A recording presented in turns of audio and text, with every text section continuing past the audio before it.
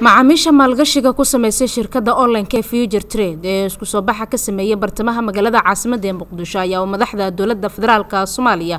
Waxay ka codsadeen in hantidooda xayiraada looga qaado shirkadoodana loo fasaxo waxayna si faahfaahsan u sheegeen in maamulka shirkadda future trade ay u sheegeen in hantidooda ay u hayaan balse dowladda ay ka dalbadeen inay cadaaladu shaqayso. Hanti baa naga maqan.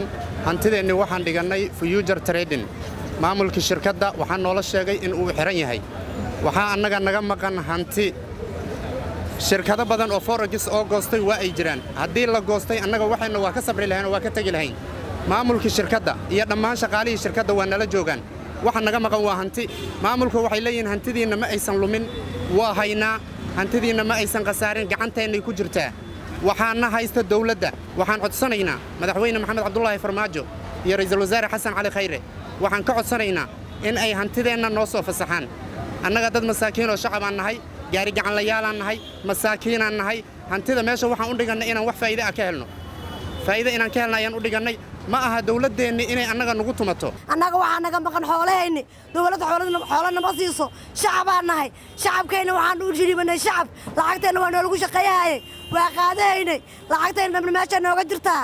Hadday dawlad jirto haddii inay garabna siiyaan maxaan kuraa cuduraa jiraa la leeyahay. Cudur uma jeedno. Lacagteennaa naga maqan. Dawladda sharabtala gacan hana siiso. Maanta oo dhan qoraxdaan taagannahay waa nala xabadaynooya. Xabadaa nagu kor socoto. Hana laga qabto xoolahayna hanala siiyo. Haysta. Lacagtayni. Mise shirkadaanaa haysata hanoo kala cadaysa annaga lacagtayniyaa rabnaa annaga maanta haddee fijuutir khasaarta halkaasaa ka baxaynaa annaga khasaarihii faa'iida marka horena waa ku wada galnay. Laakiinse annaga dawladda waxaa ka codsanaynaa in ayna siiso. Annaga ninkii noo haya milkiilaha. Hadday rabto markay rabto marka annaga waxaa u nimid meesha lacagtannadii oo future trade ay naga qaaday oo ay nagu shaqaynaysay.